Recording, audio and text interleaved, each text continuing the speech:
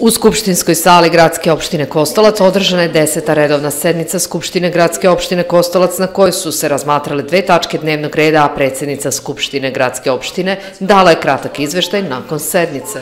Danas je održana deseta redovna sednica Skupštine Gradske opštine Kostolac. E, dnevni red su činile dve tačke. Jedna je razmatranje i donošenje rešenja o davanju saglasnosti na novi statut Ustanove Centar za kulturu Kostolac. Doneto je rešenje o davanju saglasnosti na novi statut Ustanove Centar za kulturu Kostolac. A druga tačka je bila razmatranje i donošenje akata iz oblasti izbora, postavljenja, imenovanja, razrešenja i prestanka mandata.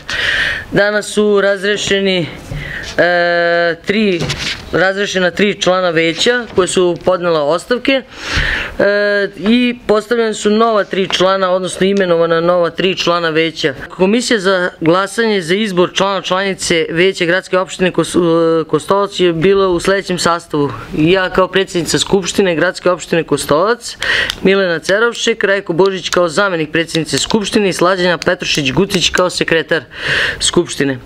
To su bili članovi.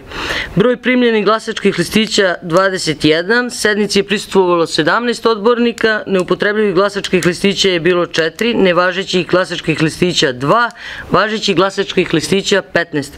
Članovi i članice Veća gradske opštine Kostolac su dobili 15 glasova, tako da su izobrani za članove članice Veća gradske opštine Kostolac jer su dobili više od polovine glasova od ukupnog broja odbornika Skupštine.